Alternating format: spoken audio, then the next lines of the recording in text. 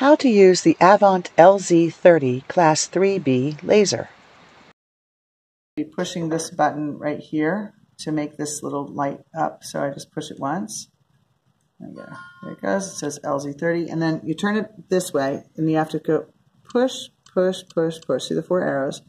Then you hit select and it says standard hood. That means it's a square hood and that's fine. And then you can choose acute pain, and then the other kind of thing you might choose is going to be chronic pain. So we're just going to use chronic or acute pain.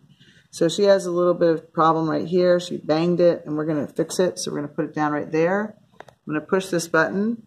It says put glasses on. She has her glasses on. I have my glasses on. And now I'm going to push it one more time, and it says red laser. And I'm going to, so cameraman, don't look. See the red right there and then you can see it's working right there. Glasses on. Safety first. And then I just push it. And it says red laser, and here we go. See it? Didn't go.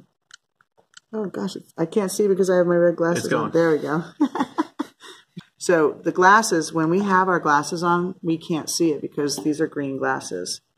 That's it. And then at the end of it, before I hit end, look at the numbers. So right now she's had 18 joules treatment in 21 seconds. So it's a pretty straight ratio. So generally, I would say go for about five minutes and get a nice good joule dosage. And then that would be for more chronic or, you know, for more serious conditions. It was just a trigger point. Maybe what you'd do is you'd stop right there and then you'd say, does your trigger point feel better? So maybe do shorter times and just kind of experiment what works with your patient. There you go. That's it, everybody.